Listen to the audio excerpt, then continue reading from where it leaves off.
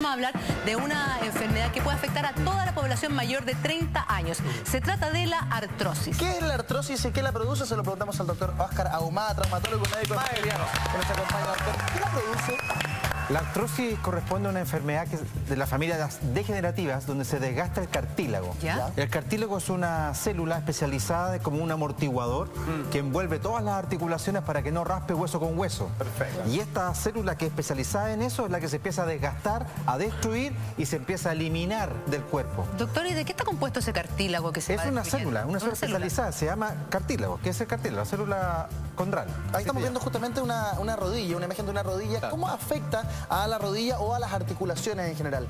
Cuando uno va produciéndose en el tiempo este desgaste articular, se va haciendo una sobrecarga. Ya. Y aparecen los que, las primeras lesiones, que es la pérdida de la elasticidad del cartílago. Ah. Luego viene un periodo en que se empieza a destruir y a perder la capa del cartílago hasta que se expone el hueso.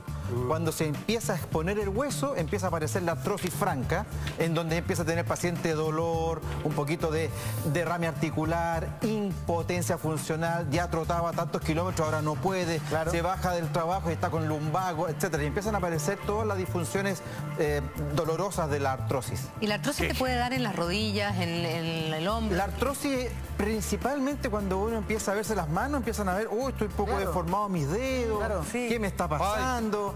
Pero la artrosis inicial es más frecuente en la columna. En la columna. Después En la de los columna. 30 años empezamos a tener un daño en la columna progresiva. en la ¿Cómo, base por de todo. ahí cómo lo podríamos ver este Aquí daño? lo podemos ver de, esta, de la siguiente manera, lo vamos a dar de lado aquí con nuestra cámara. está perfecto. Y aquí tenemos una vértebra, otra vértebra y entre medio tenemos el disco intervertebral. El disco intervertebral es la esponja que permite dar la amortiguación. Ya. Esta esponja, esponja está rodeada de una estructura fibrosa Ya. que tiene colágeno tipo 1.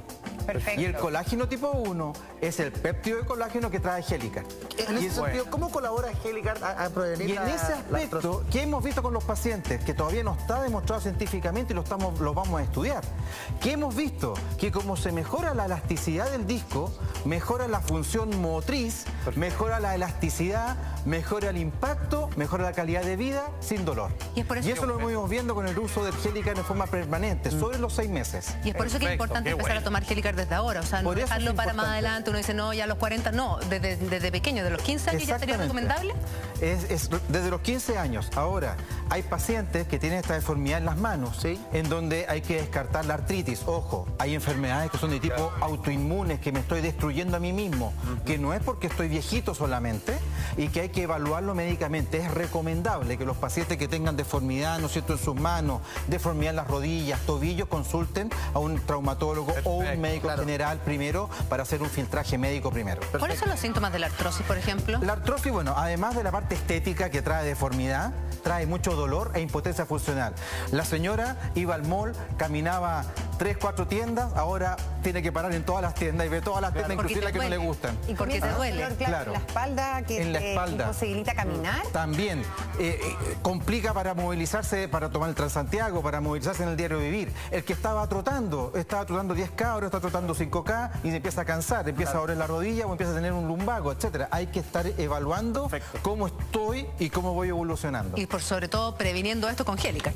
La verdad que el Jerica para nosotros, los que estamos dedicados a la medicina del deporte, lo estamos dedicados a prevenir, ha sido realmente un, un hallazgo eh, fantástico, porque hemos tenido resultados maravillosos con Gélica. Espectacular, doctor. Le queremos agradecer que haya estado Qué notable. mañana. Aquí, mañana, para hablar de la artrosis. Señor-